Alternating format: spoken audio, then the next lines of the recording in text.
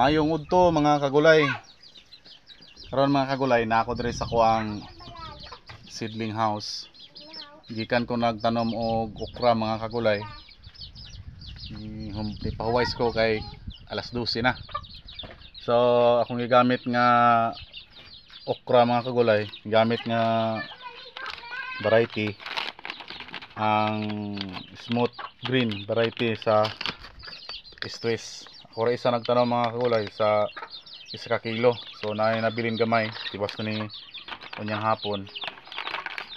So bali isa ka adlaw tunga na ko nagtinanong mga kagulay. Medyo sakit sa hawak.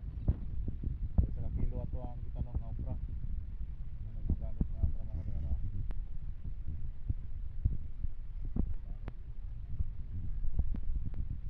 So muna ko ang gitanong mga kagulay. So pag human dito sa ukahan, pag relax, ang sidling diyan rin ko sa sidling house, yun ang sidling ko og eh, kamatis. Maliupat ni siya ka sidling tree. So akong gigamit nga sidling mga kagulay is Diamante Max is twist gyapon. Is twist jud kanunay akong ginagamit mga kagulay. Nagapo kasi sila mga similya. So akong sidling mga kagulay kamatis is duha ni ka sachet sa isa ka sachet mga kagulay 200 ka liso ang masulod pero naisobra ni mga kagulay gamay ra so ako na isang gisidling bali upat pud ka sidling tray nga kamatis nga Diamante Max F1 so kada sidling tray isa mga kagulay is 136 so kaning upat mga kagulay is 500 ka ah, liso. So na mga sobra mga kagulay ah, allowance na lang basi na mamatay. So mo ni ako ang ikaduha nga seedling sa tong seedling house mga kagulay. Ah, mao pa ni pagkahuman so ang first na ko nga gisidling mga kagulay is kaning ato ang kapayas. Nagbatanom ang ato ang buyer og kapayas. So ang gipatanom mga kagulay is ah 500 ni ka liso. So ang ako ang nasidling is 200 pa lang. Siguro human akong tanom sa okra. Magsidling ng bukog usab og 300 so mo ni ato ang ah, kamatis mga kulay. Ako ang ikon sa inyo nga first time ko magtanom og kamatis. Ah diri sa among area mga kagulay diri sa akong lugar wala man kayo nagtanom og kamatis. So nagtry ko mga kagulay kung say resulta kung say dagan sa ah, tubo sa kamatis basin day o gwapo ah, ang dagan then sa matunong sa maayo nga presyo makatanom taog daghan so ako gigamit ani mga kagulay sa ato ang kamatis nga sidlinganan sa ayang yuta is humus mga kagulay kay sa ang sa una nagsidling kog talong mao to kong gigamit nga yuta so gwapo ang tubo sa talong so alalayan lang po nako og pang anti-fungus kaya o antibacteria sa yuta nga medisina.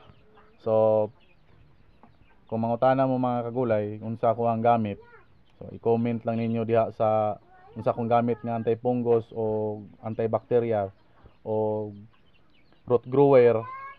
Kanang binisinaha mga kagulay, 5 in, 5 in 1 na siya.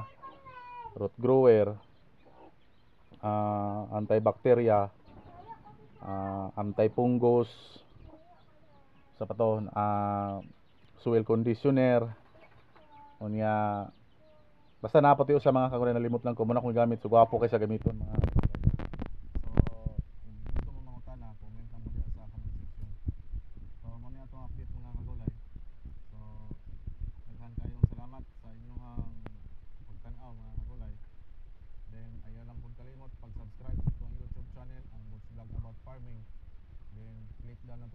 bell para ma-update mo sa mga bago na kong upload na videos.